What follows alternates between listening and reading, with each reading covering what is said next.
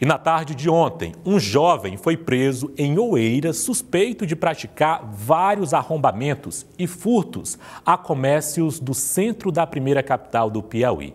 No momento da prisão, o homem ainda trocou tiros com a polícia.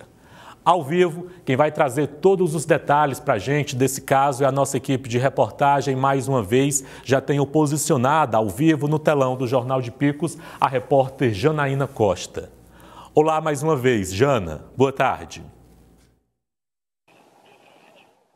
Olá, Clebson. Mais uma vez, boa tarde para você e a todos que estão acompanhando o nosso jornal. Clebson, essa prisão aconteceu na noite de ontem no bairro Várzea. E no momento da prisão, o suspeito ainda tentou reagir e estava armado. Mas ele acabou sendo preso e ele estava com a arma e também com uma pequena quantidade de maconha. Ele já tem várias passagens pela polícia por furto e também por arrombamentos. Inclusive, a polícia vinha investigando, né? Vinha investigando um caso de um furto que aconteceu em uma ótica de Oeiras e também é, um, uns arrombamentos que aconteceram em três pontos comerciais do centro da cidade e ele é o principal suspeito. Foi emitido o pedido de prisão e foi acatado pelo juiz da comarca de Oeiras e ele foi preso na noite de ontem, Clebson. E a gente segue acompanhando